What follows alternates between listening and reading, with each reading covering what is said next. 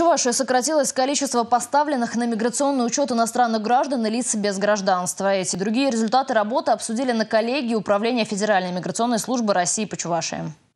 В прошлом году был принят ряд документов, ограничивающих въезд в страну для нарушителей миграционных правил, ужесточающих ответственность за организацию незаконной миграции и упрощающих легальную миграцию. Все они успешно внедрены в работу Чувашского управления ФМС. Текущий момент, нужно сказать, характеризуется определенной сменой тенденций в миграционных процессах.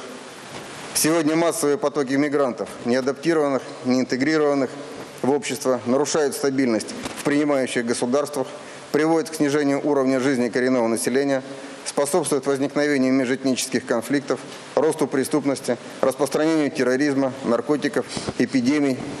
Миграционные процессы используются для достижения внешнеполитических целей путем шантажа и, ре, и реализации модели контролируемого хаоса.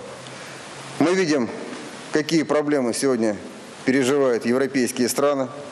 Это настоящий миграционный кризис, и меры, которые там принимаются, явно недостаточно.